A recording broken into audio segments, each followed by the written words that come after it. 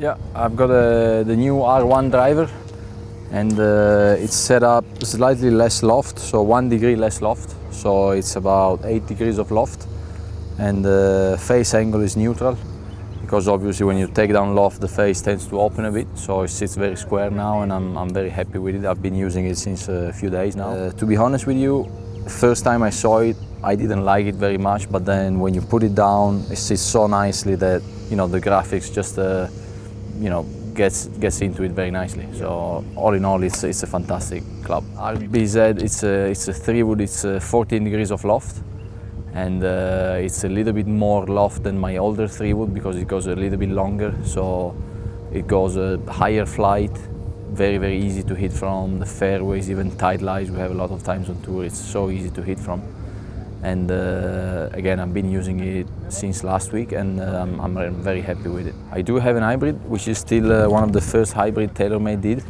Uh, I've been playing it since uh, 2009 okay. and uh, I'm, I'm, very very happy with it so it's difficult for me to change it and you know I'll try the new the new hybrids next week probably and see if I can find anything better than this. It's, it's very tough you know for us when you find a club that, that works well and uh, especially when it's not a driver that you need a few more yardages out of it.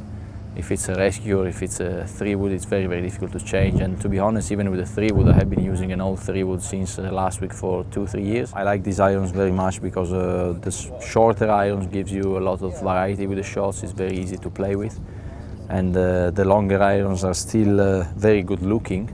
So it's not very chunky irons, it's reasonable size and uh, they're very easy at the same time. So I really like these irons. Wedges, I still use the wedges with the changeable faces and uh, I've been using them again for a couple of years. And the, the lofts? And the uh, lofts is uh, 52, 56 and 60 degrees. I use three wedges because I, I don't carry a three iron. I've got my rescue a little bit weak and my four iron quite strong.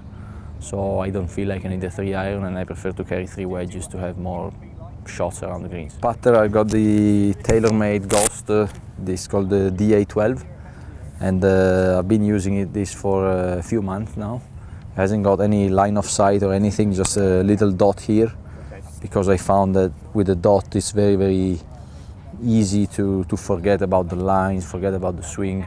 You just concentrate on you know, aiming the putter straight and then swing it and uh, I've been using this uh, since uh, I think Singapore last year and I'm very happy with it, I'm, I'm nicely with it. So.